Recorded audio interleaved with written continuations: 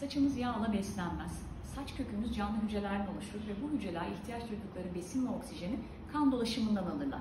O yüzden de kan değerlerinin vücutta optimum seviyede olması, saçın yeterince besin ve oksijene kavuşması ve güçlü, sağlıklı olabilmesini sağlamak açısından önemlidir. Saç derimizde salgılanan yağın özelliği şudur. Saç derimizde asidik bir ortam sağlayarak deride meydana gelebilecek bakteriyel veya mantar enfeksiyonların önlenmesine destek olur. Ve birazcık da saç üstlerinde saç kapaklarının kapanmasına yardımcı olurlar.